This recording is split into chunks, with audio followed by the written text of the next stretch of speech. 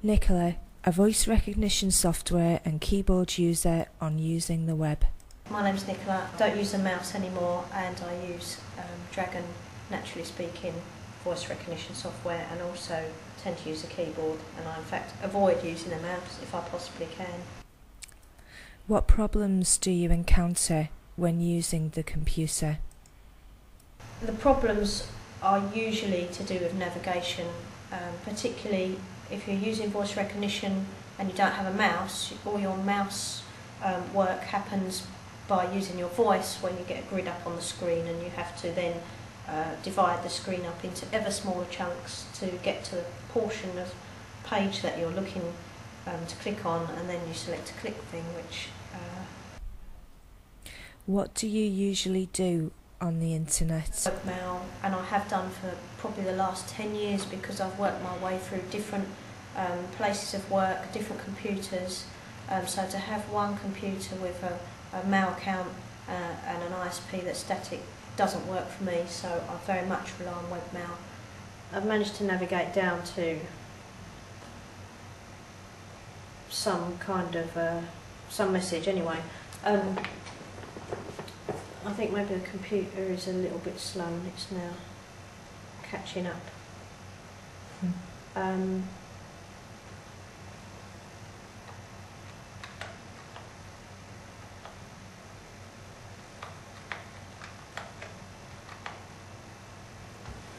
so one has to resort to a mouse quite often. My wrist gets really fatigued and um, I end up having to swap hands but then I just have a little bit of time on this hand as well and then that starts to really cause me pain. If you're using the keyboard it's um, the, the impact is not so critical as when you use a mouse that click believe it or not is very uh, for me anyway is is is very uh, tri triggers the pain like unlike the keyboard, which I have a bit more time with before it, it, it triggers any pain because uh, it's a bit more softer, there's not such a definite click.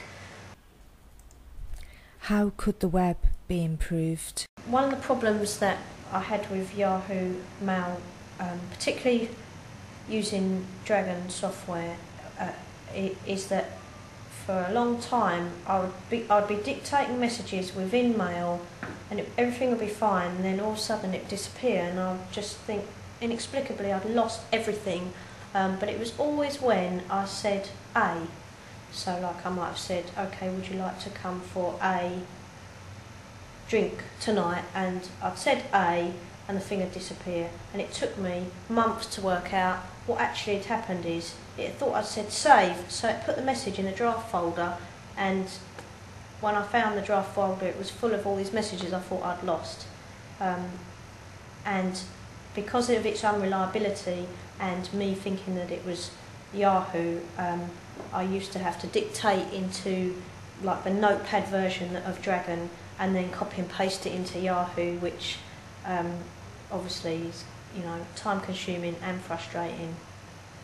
Um, now, although that's not entirely Yahoo's fault the the functionality that's built into Dragon um, is is great, but sometimes um, the obviously the links that are in Yahoo save. I mean that's pretty common, but didn't help me at all.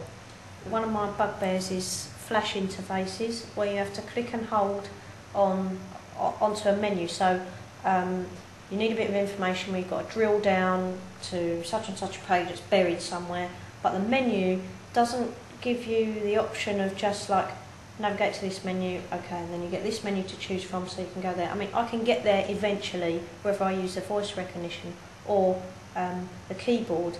The click and hold menus, which I believe are created in Flash, are just totally incompatible with both of these types of input device that I use and they're just like a total waste of time and it makes me think um, because I get so frustrated that the people who've built the website haven't tested it properly, don't appreciate the different types of users that they're expecting um, to visit their site.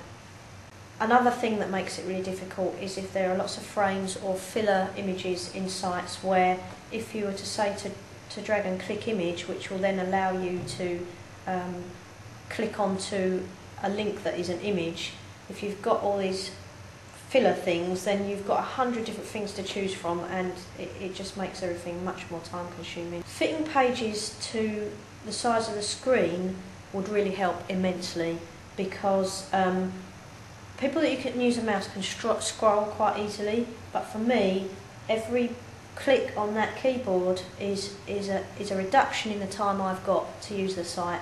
Um, I know that browsers can detect the resolution of your screen and adjust it accordingly. So why can't the content fit the screen? I mean, if there is a need for another page, then fine, let's have another page. With thanks to Nicola.